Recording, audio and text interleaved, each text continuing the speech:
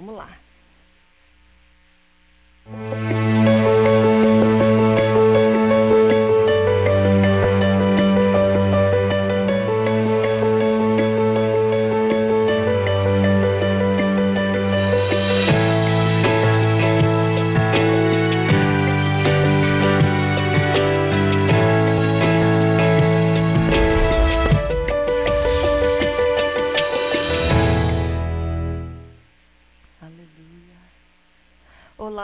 Com você mais um dia, mais um momento com a palavra de Deus. Este é o programa Abrindo a Bíblia, um programa da palavra, um programa que fala, que expõe as Escrituras. E com certeza, quando nós abrimos a Bíblia, Deus fala conosco. Hoje estaremos falando numa passagem de Isaías, capítulo 26, aonde o autor, próprio Isaías, fala não é? Que a mente em Deus é uma mente que tem paz, onde ele fala: Tu, Senhor, conservarás em perfeita paz aquele cuja mente, cujo propósito está firmado em ti. Estaremos hoje então conversando sobre esta passagem e nós vamos hoje entender alguns princípios de paz, de sermos pacificadores também, de termos não somente paz em nós, mas também paz para com as pessoas com que nós nos relacionamos. Então hoje estaremos aqui em Isaías capítulo 26. Eu gostaria de convidar você a abrir tua Bíblia nessa passagem e estar comigo nesses momentos. Hoje eu gostaria de parar, dar aqui uma, uma pequena, uma pequena é, um, um, assim, um parêntese e dizer que é um dia muito especial. Na realidade não é hoje, é amanhã o aniversário do nosso pastor, pastor Jonatas Câmara. E eu quero também hoje é, dedicar essa, essa passagem, esse programa, essa palavra para ele. Porque eu vejo muito a pessoa do pastor Jonatas nessa passagem, aonde diz: Tu, Senhor, conservarás em perfeita paz aquele cuja mente, cujo coração, cujo propósito está firme em ti. O coração, o propósito, do pastor Jonatas, nós sabemos, está em Deus. E por isso, por ele viver a sua vida para Deus, estar com a sua mente em Deus, ele é um homem de paz. Não somente paz interior que ele tem, mas uma paz que ele transmite para aqueles que estão ao seu redor. Uma paz também que vai além das fronteiras, das, que vai além da sua própria denominação da sua igreja, uma paz que faz com que todos se unam. Então eu vejo muito essa passagem na vida do pastor Jonatas, a qual hoje o Ministério Abrindo a Bíblia, eu aqui quero parabenizá-lo e dizer que é, ele é um homem de Deus, o nosso pastor, e que ele é um homem de paz. E que nós vemos a presença de Deus. E essa presença irradia a paz não somente nos relacionamentos, mas com todos e com o seu rebanho, com a sua família, claro. E nós louvamos a Deus pelo nosso líder maior, que é o pastor Jonatas Câmara, e parabenizamos ele hoje. Eu sei que o aniversário é amanhã, mas hoje nós queremos dizer feliz aniversário, que o Senhor possa abençoar o Senhor, que Deus possa abençoar o Senhor, a pastora Ana Lúcia, seus filhos, noras e agora as duas netinhas.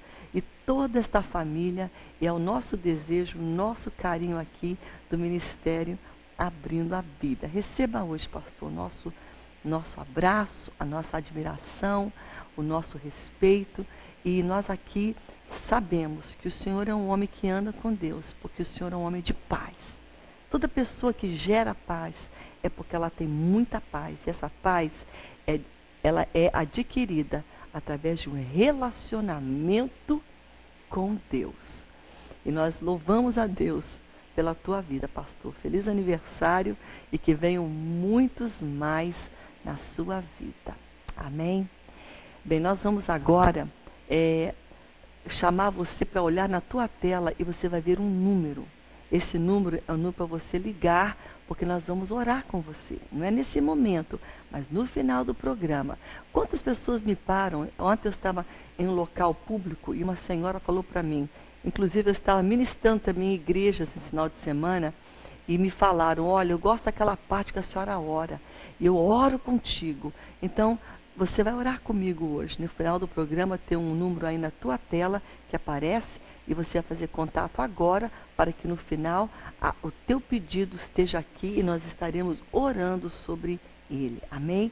Nós louvamos a Deus pela Igreja Evangélica Assembleia de Deus, pela parceria que nós temos e também pela Faculdade Boas Novas, pela, e pelo Instituto de Educação Boas Novas e pelos mantenedores, pelos nossos é, semeadores estão semeando neste solo fértil. E você é este semeador. Que Deus te abençoe, que Deus lhe recompense pela tua fidelidade. Amém? Nós vamos agora para um breve intervalo. Vamos falar hoje em Isaías capítulo 26. Mente em Deus é uma mente em paz. E é muito forte, porque não é só eu estar, estar em paz, mas eu em Deus serei uma transmissora de paz. Aonde eu pisar, haverá paz com nos relacionamentos familiares, no trabalho, no ministério, porque primeiramente eu estou obedecendo uma uma na realidade é uma lei, é a palavra de Deus, mas ela é é algo que rege assim, que que comanda uma, uma boa conduta, não é? É o meu coração e minha mente em Deus. Quando eu estou em Deus, amo Deus, eu vou amar o meu próximo. Estando em paz com Deus, estarei em paz com o próximo. Então estaremos falando sobre isso hoje em Isaías 26. Convido você a estar comigo. Se você tem uma Bíblia, abra ela comigo nessa passagem. Eu vou rapidinho para o intervalo e volto daqui a pouco com você.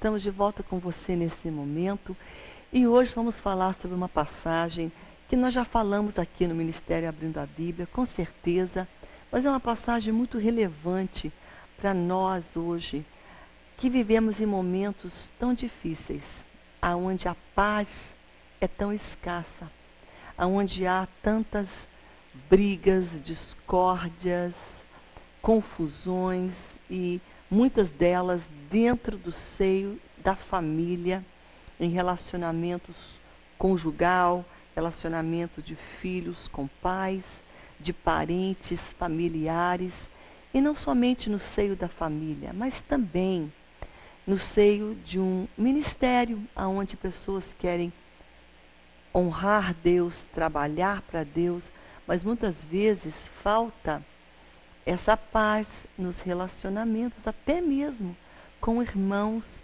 de ministério, irmãos que trabalhamos com eles, com ele, né, com, com essas pessoas, e às vezes também no próprio trabalho, no próprio lugar onde você estuda, em qualquer lugar que você está inserido nessa sociedade.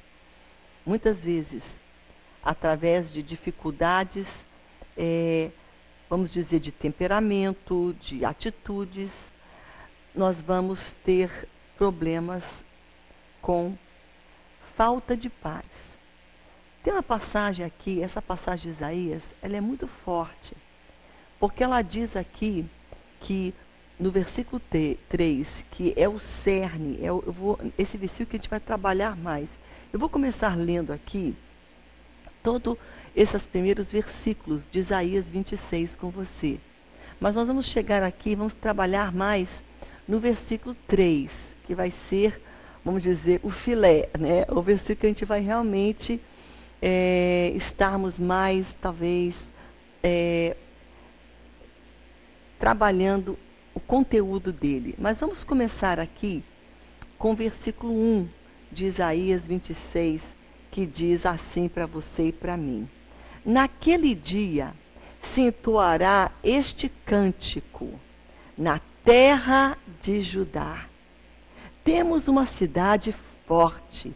Deus lhe põe a salvação por muros e baluartes. Abri as vossas portas para que entre a nação justa, que guarda a fidelidade. E aí o versículo 3 diz: Tu, Senhor, conservarás em perfeita paz aquele cujo propósito, cuja mente é firme em ti, porque ele confia em ti. Confia no Senhor perpetuamente, porque o Senhor Deus é uma rocha eterna, porque ele abate os que habitam no alto, na cidade elevada, abate-a, humilha até a terra e até o pó. O pé a pisará, os pés dos aflitos e os passos dos pobres. A vereda do justo, ela é plana, porque tu és justo e tu aplanas a vereda do justo. Também através dos teus juízos, Senhor, te esperamos. No teu nome e na tua memória está o desejo da nossa alma. Com a minha alma eu suspiro de noite por ti, com meu espírito eu, eu dentro de mim e eu te procuro diligentemente, porque quando os teus juízos reinam na terra, os moradores do mundo aprendem justiça. Senhor, a tua mão, ela está levantada, mas nem por isso a veem. Porém verão o teu zelo pelo povo e, te, e se envergonharão. E o teu furor por causa dos teus adversários que os consuma. Senhor, conceda-nos a tua paz.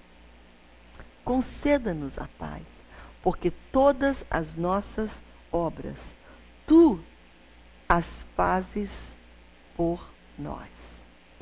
Fala aqui nessa parte também do versículo 12 sobre paz. E aqui começa no versículo 3 falando que nós teremos abrir nosso coração, abrir as portas, deixar Deus entrar porque quando nós temos Deus na, na, nossa vida, mas mais do que isso, não somente ter Deus, mas ter a nossa mente fixada em Deus. Tu, Senhor, conservarás em perfeita paz o homem, a mulher, cuja mente, cujo propósito está firme em ti. Essa é a condição que você terá para ser um transmissor de paz, um retransmissor de paz. Por que, que falta muita paz em muitos dos nossos relacionamentos? Por que falta paz em relacionamentos, em vidas, em lares, em pessoas? Aqui está um motivo. Porque para nós termos paz com as pessoas, precisamos ter primeiramente paz com Deus. Paz no nosso andar com Deus, mas não somente paz com Deus, mas a nossa mente e o nosso propósito fixado em Deus. É diferente. Você fala, ah, mas eu conheço Deus, eu ouço falar dele, eu sei aqui um pouco da palavra dele, eu vou para a igreja, mas isso não é suficiente. A Bíblia diz que ele vai conservar em perfeita paz a mulher e o homem cuja mente está firmada nele. Mas não é só a questão do raciocínio mente, é questão de propósito estar firmado nele e vai um pouquinho mais profundo, mais, eu digamos assim, um pouco mais, requer mais de nós. Não é só a minha mente, ah, minha mente está em Deus, eu vou continuar lá, lá, lá. Não é assim. É mais do que ter somente a tua mente pensando em Deus, pensando nas Escrituras. É a tua, o teu propósito. A tua mente, ela vai comandar o teu propósito. E o que, que é o propósito? É a tua vontade. Ele está dizendo aqui então que tu, Senhor, vai conservar em perfeita paz o homem e a mulher cuja vontade está para Deus. Vontade está na palavra de Deus. Vontade está em Deus, está na presença dEle, na casa dEle, obedecendo, porque esse propósito não é só minha mente, meu raciocínio, vai além. Porque a Bíblia coloca duas palavras aqui, ela é intercambiável. Ela fala, cuja mente está em ti, cujo propósito vai um pouquinho mais profundo, porque o propósito, ele tem a ver com a nossa, com a nossa vontade cuja vontade está em agradar a Deus, cuja vontade está em obedecer a Deus. Então, essa, essa mente aqui, esse propósito firmado em Deus, requer obediência a Deus, desejo de estar agradando Deus, desejo de estar na presença de Deus, desejo de estar em oração, desejo de ler a Bíblia, desejo de agradar, de obedecer o que Deus está pedindo de nós. Então é muito mais do que só a mente. É a mente que envolve os meus, a minha disposição, a minha vontade, o meu querer. Então, tu, Senhor, conservará em perfeita paz aquele, aquele cujo querer, cujo propósito, cuja o desejo está firmado em ti. Aí a paz será grande porque será primeiramente experimentada por aquele cuja mente está em Deus, em mim e em você. Mas se nós somos carregadores dessa paz, ela será evidenciada também nos nossos relacionamentos. E eis aqui, não estou dizendo que está achando aqui, está dando dar solução para você, não é isso. Mas estamos aqui tentando procurar entender alguns princípios por que muitas vezes há falta de paz? Há rixas, há discórdias, há competição no seio da família. Há sentimento de facção, há sentimento de, de falta de paciência, há sentimento de competição, há sentimento de discórdia, de bate-boca, de falta de entendimento. Falta paz. Sabe por quê? Porque a mente que falta paz, falta também um propósito, uma mente que está faltando estar em Deus. Pense nisso. Quando nós estamos nos relacionamento, estamos, estamos nos relacionando de uma maneira esporádica com Deus, pouco tempo com Deus, pouco desejo para com Deus, porque não é somente é o meu desejo, a minha vontade, é o meu querer, é a minha obediência é a minha vontade estando em Deus, obedecendo Ele, obedecendo os mandamentos dEle, obedecendo a palavra dEle. Então, eu terei paz. E essa paz será transmitida, ela será evidenciada nos meus relacionamentos. Pouca paz com Deus, pouco relacionamento com Deus, pouca disposição em Deus pouca mente em Deus, pouco propósito que envolve obedecer, agradar, será evidenciado também em pouca paz. E se eu não tenho paz comigo mesma, eu não terei paz com meu próximo. Eu serei impaciente, queixosa, complicada, serei uma pessoa difícil. E hoje o Espírito Santo está falando com você e comigo.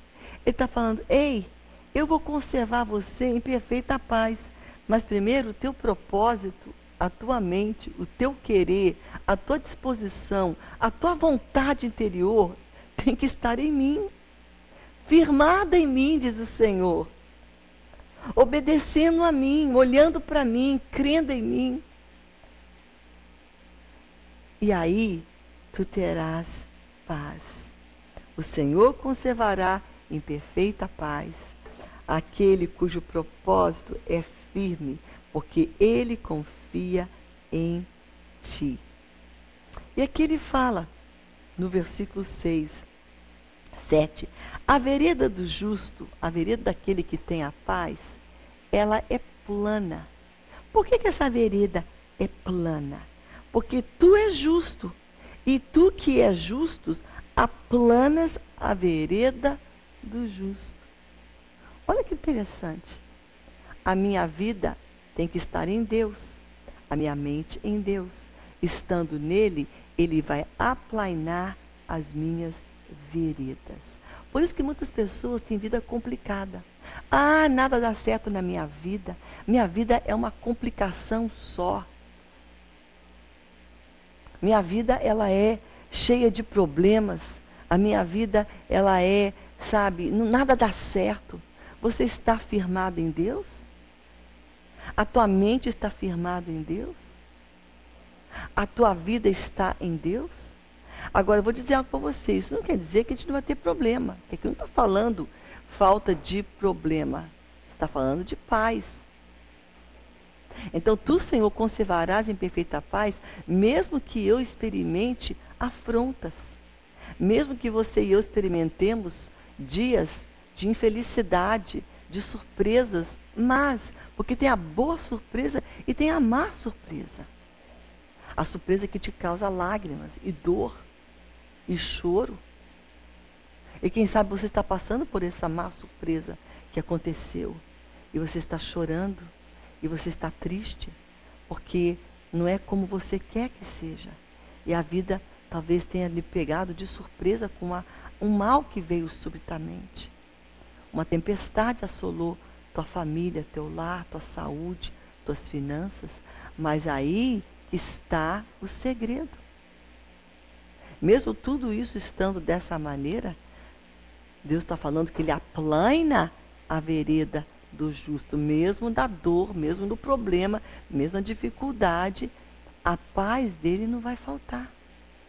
Ele vai conservar em paz, mesmo no meio da tempestade, mesmo no meio do deserto. A paz, porque a tua mente, ela não precisa estar naquele deserto.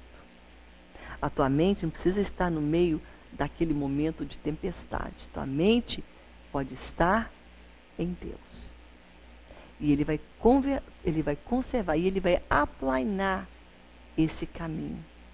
Mesmo que seja um momento difícil, o Senhor está andando ao teu lado, conservando a tua mente nele. Você tem esse domínio sobre a tua mente. Você pode colocá-la em Deus. Você pode falar: não, Senhor, eu não vou permitir que a minha mente venha se atolar e ela venha estar no meio dessa dor, dessa porta fechada, desse deserto, dessa insegurança, dessa afronta, desse problema. Você pode vencer ele. Você vai passar por ele, todos nós passamos.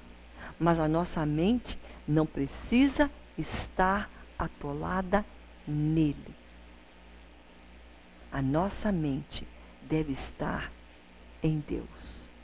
Por isso que ele fala que ele vai conservar em perfeita paz. Porque tem uma paz que é uma paz falsa, que uma bebida pode te dar. É. Você bebe, aí você sente aquela coisa meia gostosa, assim, aquela liberdade, você fica mais assim, é, sem medos, porque você tinha medo de falar algo, aí você bebeu, aquilo te desinibiu, aí você fica, poxa, estou legal. Mas é falsa, porque o efeito daquela bebida passa. E mais do que isso, se você se embrigar mais e mais e mais, você fica de ressaca e depois você vai pegar um carro você pode bater e se matar e matar outros. Pelo efeito daquela bebida que dá uma falsa paz. Junto com isso, pode ser também uma droga. Que você fala, poxa, tem aquele efeito tão, sabe, me tira da minha preocupação. Eu fico assim num mundo diferente por alguns segundos, minutos, mas passa também. É falso. Tudo que é pouco e que dura pouco, falando-se em termos de paz, é uma falsa paz. A verdadeira paz é aquela que dura, que permanece no meio de um vale, no meio de uma tristeza, no meio de uma perda. Quem sabe você perdeu alguém que você ama? Deus vai te dar esta paz no meio da morte, da distância de alguém que você perdeu, ou de uma situação do teu lar que está perdendo-se ali algo de valor, a, a confiança, o respeito. Deus quer te dar paz. Porque quando somos transmissores de paz, seremos transmissores de restauração, transmissores de restituição, retransmissores de alegria, de fé. Porque começa com a paz de Deus e começa com a nossa mente estando firme em Deus. O inimigo quer tirar a tua mente de Deus hoje. Ele quer que a tua mente esteja em pessoas. Ah, aquela pessoa me feriu. Dos defeitos daquela pessoa. Aquela pessoa falou mal de mim, aquela pessoa me olhou torto, aquela pessoa me olhou de cabeça para cima, para baixo, assim, me humilhou. Aquela pessoa falou coisas para mim, sabe? Ela disse isso. E é isso que acontece nos lares, porque as pessoas, elas se esbarram na outra, uma fala, outra não fala, outra diz, e começa a ter aquela atitude de, sabe, de intriga. Mas Deus está falando, a tua mente não vai entrar naquela intriga. A tua mente vai estar em mim. Porque eu vou te conservar em paz quando o teu propósito, a tua vontade, o teu querer está em mim para me obedecer e para me agradar, diz o Senhor. Tem chaves, tem, sabe, tem regras. A gente fala, ah, a paz ela vem de graça ela foi conquistada para nós e ela vem de graça para nós. Mas ela custou um preço para Jesus. A Bíblia fala em Isaías, eu vou falar no próximo bloco, sobre uma passagem muito grande que fala sobre paz. Mas hoje o Espírito Santo está falando nessa passagem aqui. Que tem que ter algo, uma disciplina minha. Eu tenho que fazer algo, sim. É algo que eu preciso fazer colocar a minha, o meu propósito, o meu desejo, a minha mente firme em Deus. E olha que o inimigo vai querer, e não é só inimigo, você tem uma carne, uma índole, que luta para que você seja birrenta, briguento, que você venha, sabe, colocar em ordem algumas coisas do teu jeito, da tua vontade. E hoje o Espírito Santo está falando comigo também. Que a minha mente em Deus será uma mente de paz. E essa paz ela vai ser evidenciada, transferida para os meus relacionamentos. Nós somos transmissores de paz. Aonde nós pisamos, nós carregamos a paz de Deus. E ela deve estar, primeiramente, não na igreja, ela deve estar aonde nós pisamos, mais do que qualquer outro lugar, na nossa casa, no nosso lar, na nossa família. Amém? Nós vamos agora para um pequeno intervalo. Vamos voltar falando sobre esta passagem. Que Deus, Ele aplane os caminhos daquele que é um transmissor de paz, aquele que é justo. Deus abençoa ele. E Deus coloca a paz. E Ele quer que você esteja hoje sendo essa pessoa. Mas para ser essa pessoa, a tua mente, o teu propósito, a tua vida tem que estar fixada, tem que estar em Deus. É isso que Ele quer para você. A gente vai agora para um breve intervalo. Vamos voltar daqui a pouco mais com você nesta palavra, continuando aqui em Isaías capítulo 26. Daqui a pouco mais eu volto com você.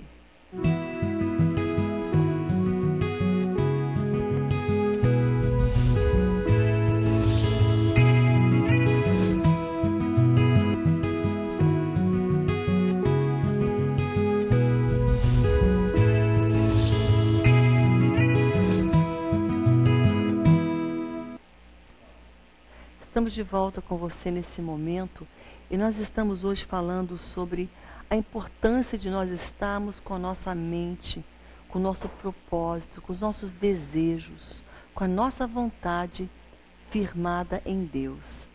Porque quando nós temos a nossa vontade em Deus, Ele nos dará uma paz.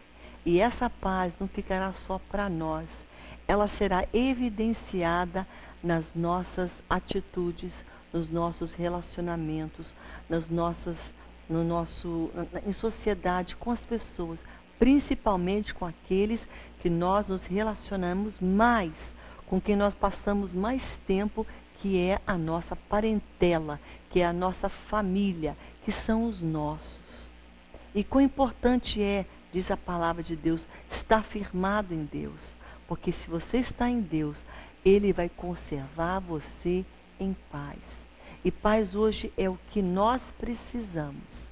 Não somente a paz mundial, mas essa paz ela começa no nosso lar, na nossa família, no nosso entre os nossos, né, diante é, entre aquelas quatro paredes ali, não é, da nossa casa. E Deus está falando aqui dessa importância. Tem uma passagem aqui muito interessante, Isaías 48, e ela fala algo interessante sobre um relacionamento entre as Escrituras e a paz. Obedecer Deus e ter paz. Obedecer os mandamentos de Deus, os princípios de Deus, a palavra de Deus, a vontade que Deus tem para a minha vida, a vontade soberana, que é melhor, o bom, né, a boa, a, a boa, é, como diz em Romanos 12, a boa, agradável, perfeita vontade de Deus.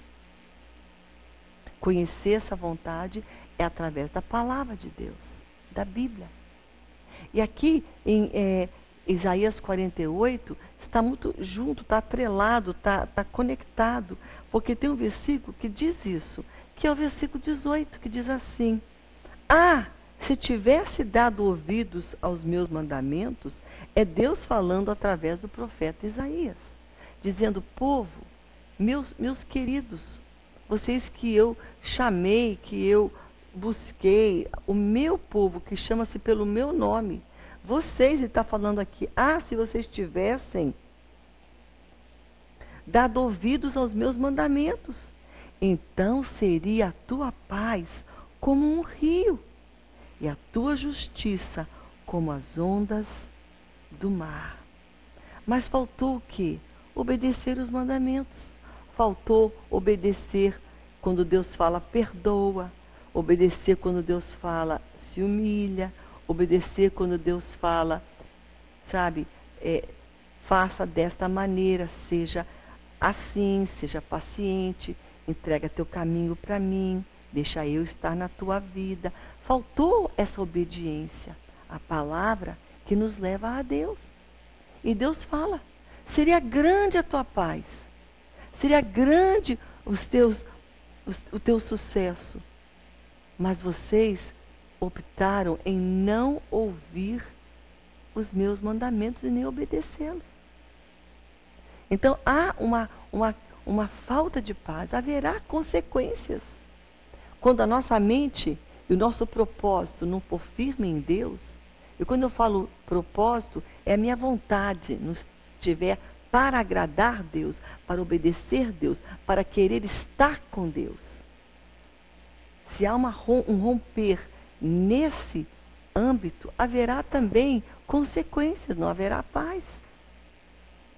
Não haverá aquilo que é a consequência da minha mente estar firmada em Deus.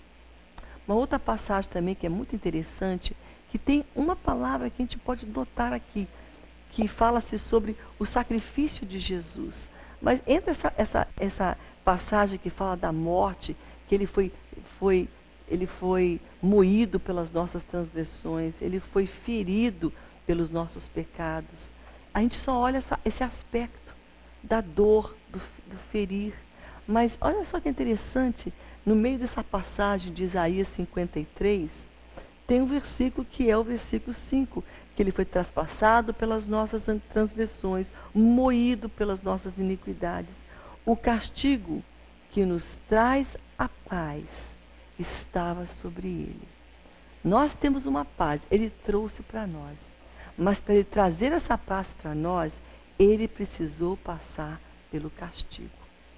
Ele foi castigado naquela cruz para trazer algo que para você vem de graça, mas ele pagou um alto preço para que você tivesse paz. Por isso que é triste quando você vê no teu lar e discussões e brigas, você pode parar para pensar, Jesus pagou um alto preço para que essa paz estivesse ali. E ela não está. O que está acontecendo? Nós precisamos ser promovo, prom, promover, promovedores, carregadores desta paz. E para sermos isso, essa paz primeiramente tem que estar em mim, porque eu, o meu propósito, a minha mente, a, o meu intelecto, o meu querer tem que estar fixado em Deus. Por isso que quando a gente lê nos jornais, na TV, nas notícias, calamidades no sentido de brigas, de mortes, de assassinatos, de coisas horríveis que acontecem, muitas vezes até dentro de uma família. Sabe o que, é isso? Essa, essa, essa, essa morte, essa briga, essa dissensão, essas calamidades é falta de Deus. Falta de pessoas que estão com propósito firmado em Deus.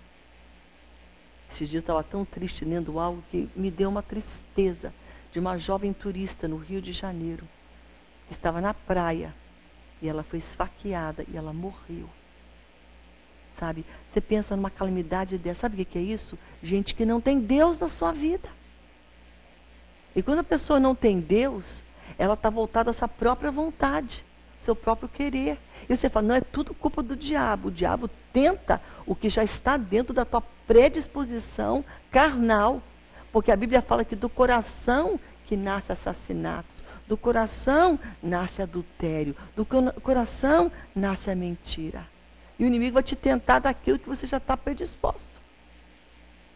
Então, você pode falar sim, é o inimigo, mas também é a tua e a minha falta de buscar Deus, de querer Deus, de buscar obedecer a Deus. Por isso, quando você vê todas essas coisas ruins assim, você pode dar um nome. É falta de homens que não querem, falta de pessoas que falta de Deus na vida das pessoas. Pronto, falta de pessoas que não colocam o seu propósito em Deus, e nem sua mente em Deus, e nem o seu querer em Deus. Porque para mim colocar minha mente em Deus, o meu querer tem que estar junto. Porque eu não posso dividir a minha mente e o meu querer. Às vezes está dividido que a mente quer uma coisa, né, mas o meu coração querer quer outra. Mas o Senhor está falando cujo propósito, coração, está firme em Deus.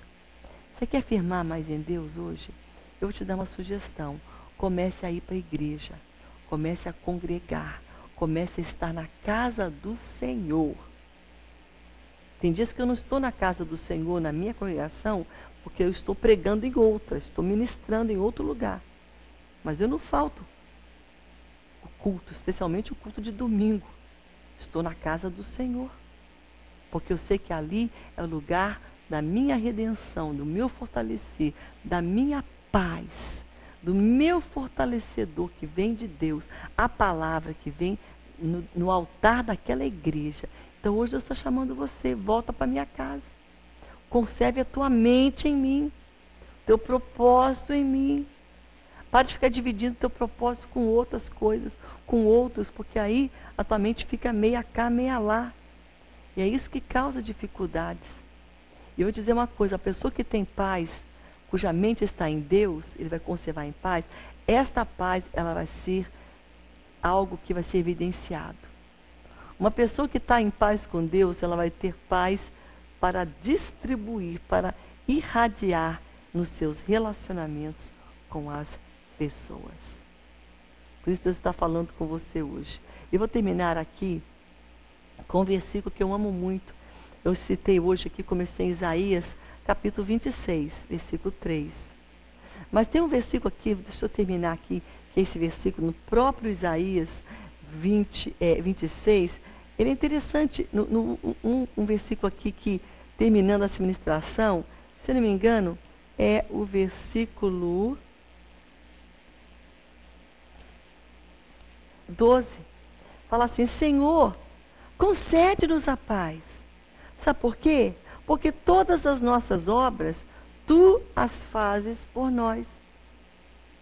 Senhor, me dá paz, porque na verdade todas as curas, todas as libertações, não é eu que faço, não é eu que faço milagres, eu prego a palavra, mas todas as obras é tu que fazes. É tu que libertas, é tu que curas, é tu que renovas, é tu que alegres, é tu que mudas, é tu que fazes tudo. Não é a gente, não. Então ele está falando, me dá paz. Por que ele fala paz? Porque tem pessoas que andam para um lado para o outro. O que, que eu vou fazer? Como é que vai fazer? Como é que eu vou pregar? Como é que eu vou realizar? Você não faz nada, querido. Você só se coloca à disposição de Deus, ora, se entrega a Deus, se rende a Deus, busca a Deus, se entrega nele e ele vai fazer tudo. Por isso ele fala, todas as nossas obras, tu a fazes por nós.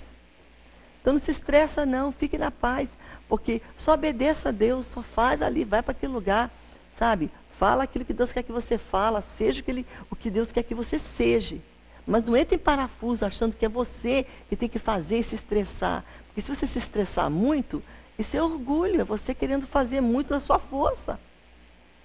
E você está achando, não, eu estou aqui moído, estressado, porque eu fiz muito. Ora, Deus é que opera em nós, Deus é que faz por nós. A força vem de Deus, a unção vem de Deus, o poder vem de Deus, a palavra é de Deus, a autoridade vem de Deus. É Ele em nós.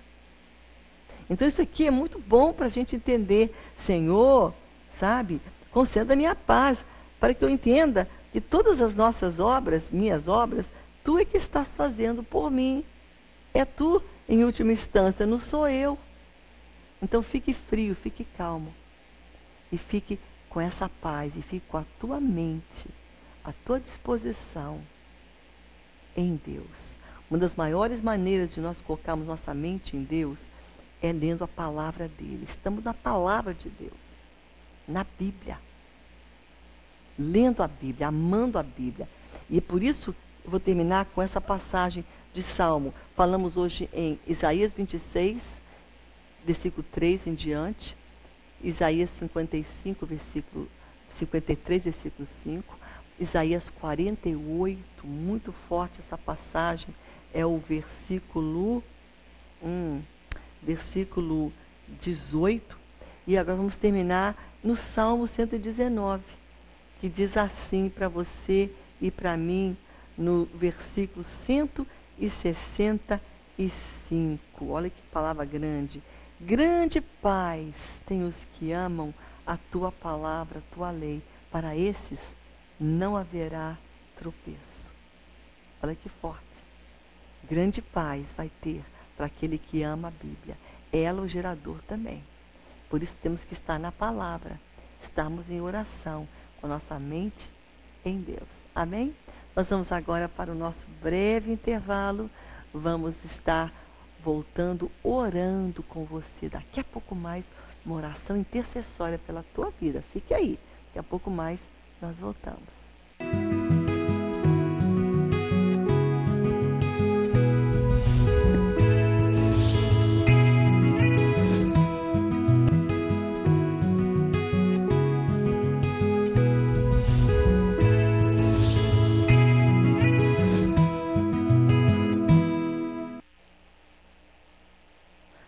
Estamos de volta com você nesse momento, nós vamos orar com você. Nós vamos orar por cada pedido aqui.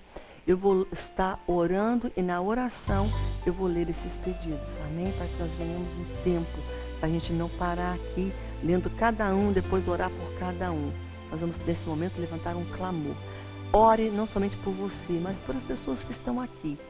Nós vamos começar nesse momento entregando a Deus, porque Deus pode. A oração do justo pode muito em seus efeitos. Vamos orar, vamos clamar, saber que Deus, Ele é um Deus bom. Sabe, tem uma palavra que eu amo ler antes de orar, está em Hebreus, no capítulo 4, que fala que nós não temos um sumo sacerdote, né? Que não se entende de, da nossa dor. A gente pode chegar com Ele com ousadia diante do trono da sua graça. Então, o que vai nos encontrar? Graça. A graça, o amor a misericórdia, o favor de Deus vai te encontrar nesse momento de oração. Pai, em nome de Jesus, Pai, nós entramos agora diante do trono da tua graça. E o que nos dá, nos dá acesso, Pai amado, Deus da nossa vida, a esse trono, Senhor, é o sangue de Jesus.